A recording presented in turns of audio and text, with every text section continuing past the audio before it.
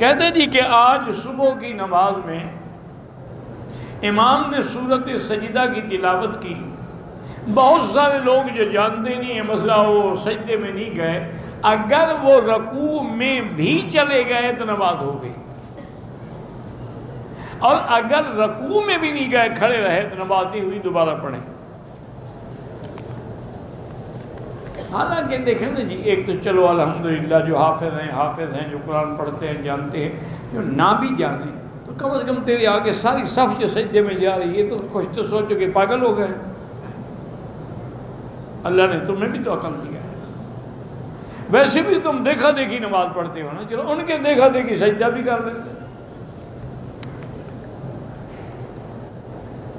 मेरे ऊपर जिन्नात का असर है। मैंने कुछ दिन सूरत बकरा पढ़ी, वो ज़्यादा आ गई। हो नहीं सकता कि सूरत बकरा पढ़ो और शैतान ना जाए।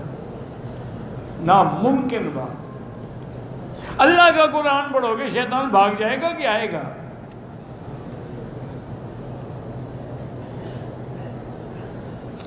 शादी नहीं हो रही तो बेटी, आप तीन दफ़ा रोज़ाना सूरत रहमान अव्वल, आखिर ग्यारह दफ़ा दरूद शरीफ पढ़ के दुआ करें। बहुत जल्दी इन बेहतर और खैर का रिश्ता हो जाएगा। रोज़ी में बरकत के लिए इस्तफार ज़्यादा पढ़ें।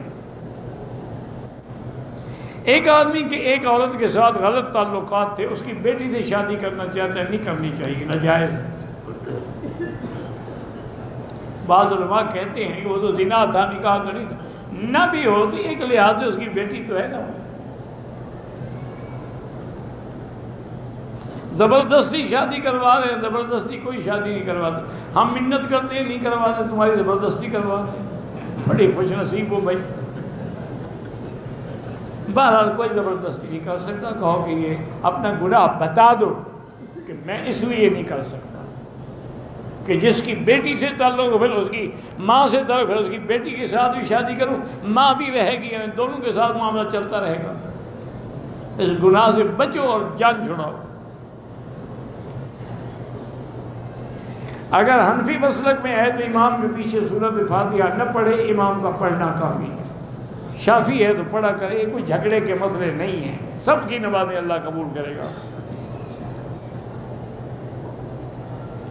पाकिस्तान में जुमा की नमाज़ के बाद जो सलात सलाम पढ़ते हैं, वो बिदत हैं। अगर सुन्नत होते तो हजूर फरमा देते। सुन्नत होते तो अबू बकर, उमर, उस्मान, वाली पढ़ते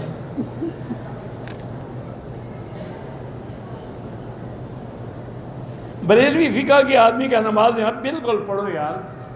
पचास साल की औरत को तो बाज़ार से सौदा ला सकते हैं। मेरा भाई अगर पचास साल की तकड़ी हो, जवान हो तो नहीं ला सकते। क्योंकि पहले ज़माने की पचास साल की औरतें जो हैं, आज की बीस साल से मज़बूत हैं। वो खालस घी की पैदावार है। मक्खन खाए हुए हैं, इनने तो डालडा खाया है। बहरहाल देखें ना, आपने ज़िंदगी में गुनाह की है, आपको गुनाहों का एहसास है। इस्तफार करो और शादी कर लो। इस बहाने से शादी से न बचो और न फिर गुनाहों में मुबतला हो जाओ, क्योंकि अब गुनाहों पर आपकी आदत हो गई और अल्लाह से माफ़ी भी मांगती रहो, रोज़ाना दो रकात नमाज़ पढ़ के किया अल्लाह। जहाँ मेरा रिश्ता हो रहा है, मेरी इज़्ज़त भी रखना, मेरा पर्दा भी रखना।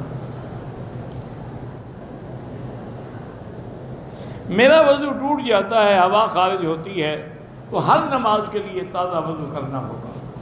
यानी अब आपने जो मगरब से वज़ू किया, वो इशा तक काफ़ी है। नमाज़ें पढ़ते रहें, तवाफ़ करें, फिर इशा के लिए दोबारा करें। अल्लाह पाक परेशानियों से बचाए, बीमारियों से बचाए।